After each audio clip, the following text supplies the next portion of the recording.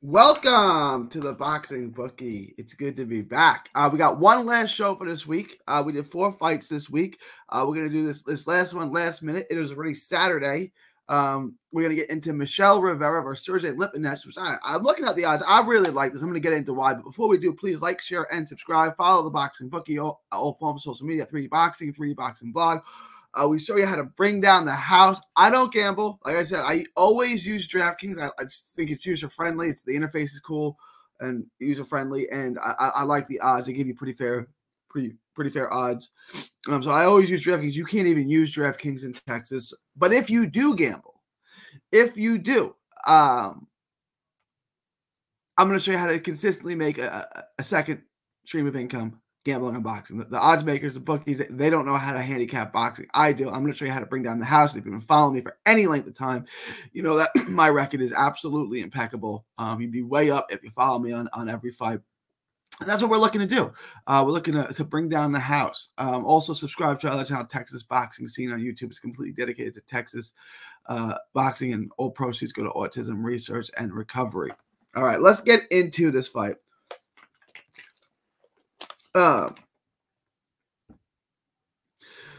so Lipinets is coming off a great win, which was now 16 months ago, 15 months ago, um, over Omar Figueroa, which is, you know, he, he had a bad loss to Enos. He bounced back a little bit. He got this win over Omar Figueroa, which was a dominant performance over a, a close, you know, a personal friend of mine and uh, you know it was it was tough for me to watch that, but uh, Omar was completely shot in that fight, and I think he's getting. I think Lipinets is getting a little overrated. Look, I like Lipinets as a fighter. He works well on the inside, um, he, but he's he's there to be hit, right?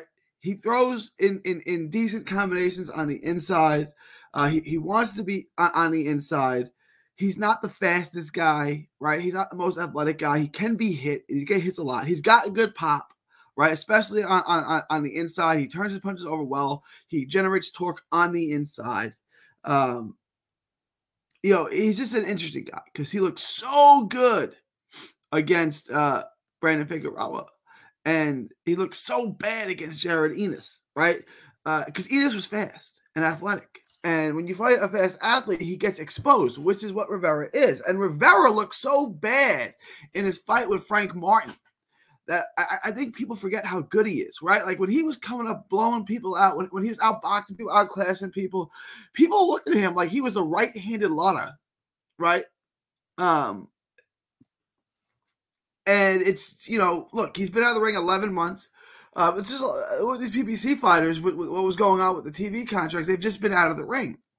But when he was beating Adorno and he was beating, you know, guys like that, uh, Jon Fernandez, you know, he was really something else. Um, his skills are there, right? Like, uh, look, let's get into why he lost to Frank Martin. Frank Martin is the complete opposite of Sergey Lipinets, right? So the guy that made Rivera look really bad is the complete opposite of what he's fighting. And the guy that Lipinets fought, Brandon uh, Omar Figueroa, sorry, Omar Figueroa is the complete opposite of what um you know, Omar Figueroa is the complete opposite of Rivera. So the guy that Lipinets looks so good against is the complete opposite of what he's fighting. And you know, Frank Martin was able to to, to beat um Rivera bad. Won every round, dropped him, dominated the fight. But why? Right? He was quicker and he pot shot him with left hands. And Frank Martin, not a huge puncher, but it has respectable power. But he kept hitting him with it, hitting him with clean shots. And it was one shot, one and, and Rivera had no response. Why did Rivera have no response? Because for the first time, probably in his life, he was in with a guy who was faster than him, with quicker reflexes, and he didn't know how to respond. That's not the case with Lipinets. Lipinets is slow. Lipinets has, has you know, like he, he's fundamentally he's got okay footwork and, and he can and he can use angles and slide out, but he wants to be on the inside. And he gets hit coming onto the inside by guys who aren't fast. He just looked really good against Figueroa because Figueroa is slow and completely shot, right? And he's not fighting a slow, completely shot fighter. He's fighting a primed, fast athlete with superb skills. What Frank Martin did To think that Lipinets is going to do that is ridiculous, right? That's not how Lipinets fights. You, think, and if you think you can beat Rivera fighting the way Lipinets does, I, I don't see it. Like is good. He's not great. Right? He's a world champion. He won a world title and he got beat by Mikey Garcia. Uh, and, and, I don't think Lipinets is bad. I think he's good. But eh, stylistically, this is bad. He gets hit. He's going to have to try to get on the inside. And Rivera's just going to hit him. And Rivera's not featherfist. Rivera can punch. Again, he's not a one punch knockout specialist, right? Like that's not his game, but he can hit. He's got 14 knockouts. Um, I don't think Rivera's going to knock him out, but you, you, can see why Frank Martin had success with him, and what Frank Martin does isn't something Lipinets is even going to try to replicate. And, and what Lipinets did to Figueroa is not any way remotely similar to how Rivera fights. So Rivera's got the sharper skills. Rivera's faster right? Rivera's got more tools in his box. Rivera can fight from all three ranges, where Lipinets has to be kind of be on the inside, right? So it's just it's, this fight really, really favors Mike uh, Michel Rivera. Michel Rivera is a, an exceptional fighter. He dominated everyone until he got to, to, to, to the Frank Martin fight. Uh, but again, Frank Martin is completely different fight. Now, people are going to make a big deal about the size difference, right? Because Lipinets fights at 47 and, and, and Rivera's coming up from 35. Lipinets will probably be the he will be the bigger man in the ring. But it's not two weight classes. Lipinets is not a 147. He went to 147 for the same reason Chris Algieri fights at 147 because there's money there. There's big money there. There's big money fights at 147. But he's a 140 pounder. So this is really Rivera going up from 135 to 140. It's not that big of a deal, especially when Rivera has such a huge advantage in, in, in skills and speed.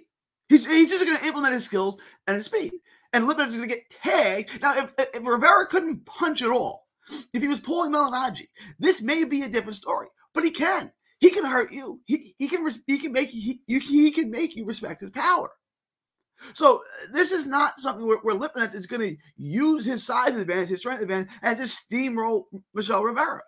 Let's get into the odds on this.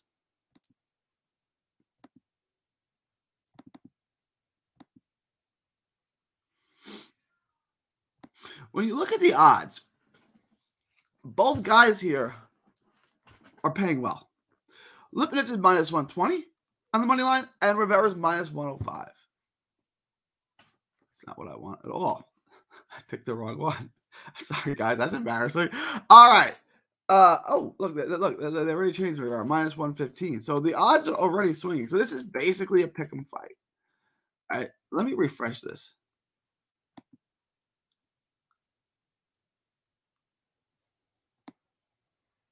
Look at that. That's basically a pick 'em fight. Look, the odds already got, got a little worse for Rivera. So place your bets now if that's what you do. So what I'm doing here is I'm taking over eight and a half rounds. I think this fight's definitely going over eight and a half rounds. I think that's a safe bet.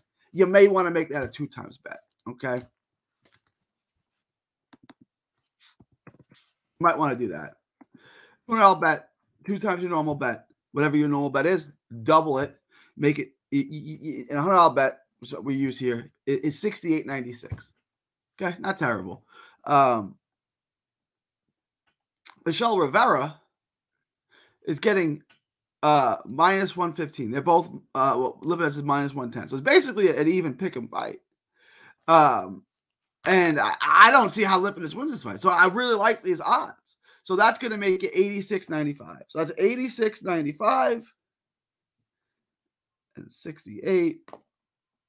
So you're making about 156 bucks um, on this bet if you want to take a two times bet on the on the over. If you want to make it take a one times bet, cut that uh, profit in half instead of making 70, you make about 35. so you make about 35 and 87. Um, it's not bad money, and I I really think that you know Rivera should be a, a, a bigger favorite. Actually, on these odds, he's the slightest of underdogs. Even got you know, even though you know, because Lipinets has slightly better odds of winning the fight, um, which I just think you're basing that off of one fight from each guy. Fine. Uh, Lipinets fight was 15 months ago. Yeah, about 15 months ago. Um, and it was against uh, the polar opposite of Rivera's. Rivera's fight was a year ago, 11 months ago, and it's the complete opposite of what Lipinets is. And I definitely think the fight is going to go over eight and a half rounds. I think, I think we're definitely looking at a fight that goes a distance. Um, so I'm going to make this a one times bet. If you want to be safe, if you if you want to, I mean not be safe, if, if you want to take a little roll of dice, make it a two times bet because I think it's pretty safe that we're going over eight and a half. And here you go.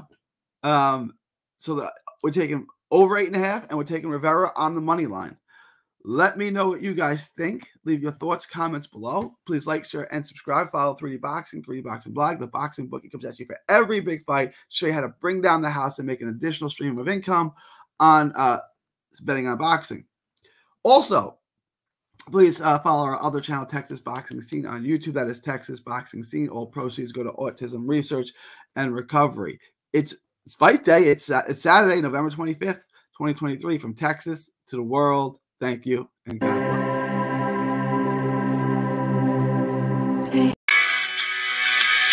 Don't miss a tweet, post, story, or video. 3D Boxing is on Twitter, Instagram, and Facebook. Hit the subscribe button now to stay inside the ring.